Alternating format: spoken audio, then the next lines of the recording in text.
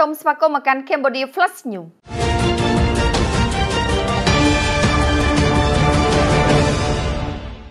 កម្លាំងមន្ត្រីប្រឆាំងគ្រឿងញៀននៅព្រឹកថ្ងៃទី22ខែមីនានេះបានបញ្ជូនជនសរសៃម្នាក់ទៅតុលាការភ្នំពេញជាមួយគ្រឿងញៀនជាង20គីឡូក្រាម សមត្ថកិច្ចបានបញ្ជាក់ថាមន្ត្រីកយនិងរដ្ឋកោបានស្រាវជ្រាវនៅមកក្រាបអំពើរថពន្ធសហការជាមួយកងរាជអាវុធហត្ថលើផ្ទៃប្រទេសបានចាប់រថយន្ត MRDQ7 ពាក់ផ្លាកលេខភ្នំពេញ PAE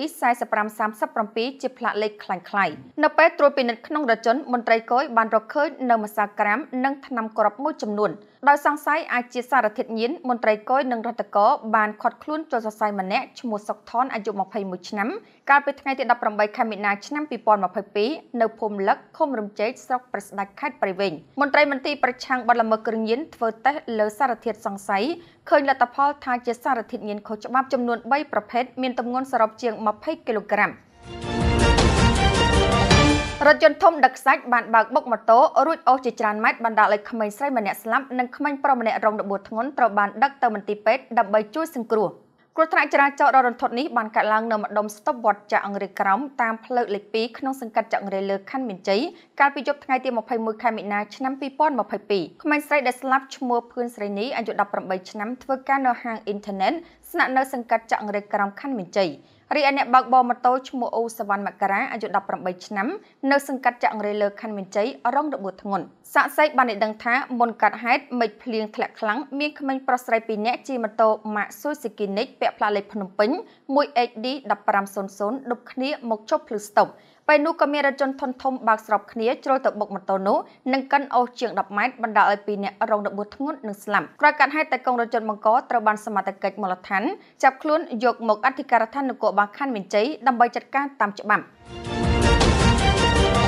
ជនជាតិចិន2នាក់បានជិះម៉ូតូដប់គ្នាបានបុកជាមួយរថយន្តដឹកខ្សាច់កំពុងតែបត់ឆ្លងផ្លូវបណ្ដាលស្លាប់ម្នាក់និងរបួសធ្ងន់ម្នាក់ មន្ត្រីនគរបាលបានឲ្យដឹងថាគ្រោះថ្នាក់ចរាចរណ៍នេះបានកើតឡើងនៅតាមផ្លូវជាតិលេខ5ក្នុងភូមិនិមិត្ត3សង្កាត់និមិត្តក្រុងប៉ោយប៉ែតខេត្តបន្ទាយមានជ័យកាលពីយប់ថ្ងៃទី21ខែមិនិនាជនរងគ្រោះជាជនជាតិចិន2នាក់នោះមិនទាន់ស្គាល់អត្តសញ្ញាណនៅឡើយទេមុនកាត់ហាត់អ្នកទាំងពីរបានជិះម៉ូតូម៉ាកហុកដាល់ទ្រីមពាក់ផ្លាកលេខបាត់ដំបង 1M9550 ដប់គ្នាពីលិចទៅកើត មកដល់ខាងលិចប៉ុស្តិ៍នគរបាលរដ្ឋបាលនិមិត្តក៏មានរថយន្តធុនធំដឹកខ្សាច់បានបត់ឆ្លងផ្លូវម៉ូតូបានបុកពីចំហៀងបណ្ដាលឲ្យអ្នកបើកបរម៉ូតូស្លាប់និងអ្នករួមដំណើររងរបួសធ្ងន់ក្រោយកាត់ហេតុអ្នកបើកបររថយន្តបានចុះរត់គេចខ្លួនបាត់បន្សល់ទុកតែរថយន្តត្រូវសមត្ថកិច្ចបានយកទៅរក្សាទុកនៅប៉ុស្តិ៍នគរបាលរដ្ឋបាលនិមិត្ត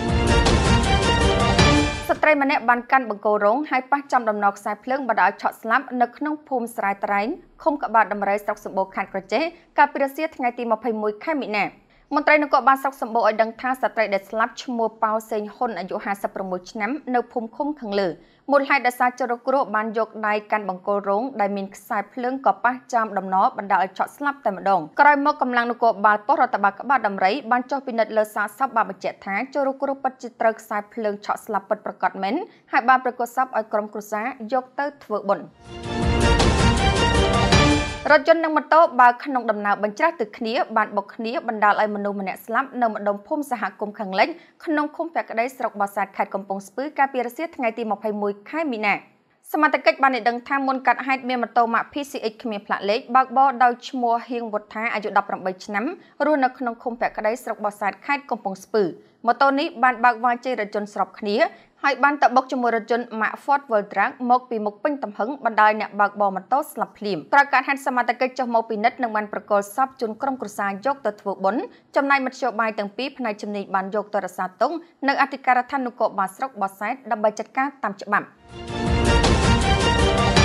បរិមម្នាក់បើករថយន្តលឿនក្នុងស្ថានភាពស្រវឹងស្រាបានជ្រុលទៅបុកផ្ទះគេបណ្ដាលឲ្យកូនម្ចាស់ផ្ទះរងរបួសធ្ងន់និងខូចខាតយ៉ាងដំណាំ។ សមត្ថកិច្ចឲ្យដឹងថាហេតុការណ៍បង្កពីមនុស្សស្រវឹងនេះបានកាត់ឡើងនៅលើផ្លូវជាតិលេខ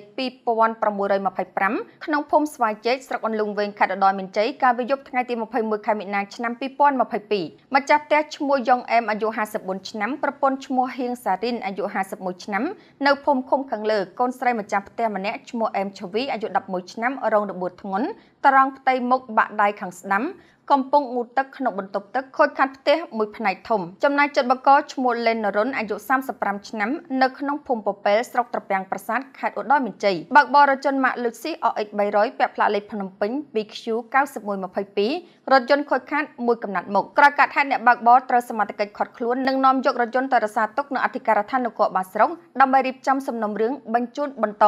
សូមអរគុណសម្រាប់ការតាមដាន Cambodia Flash News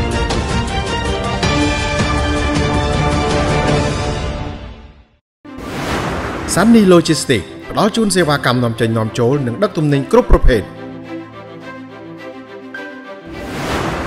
USRV ផ្ដល់ប្រឹក្សាយោបល់អាជីវកម្មផ្នែកពន្ធដារគណនេយ្យនិងហិរញ្ញវត្ថុ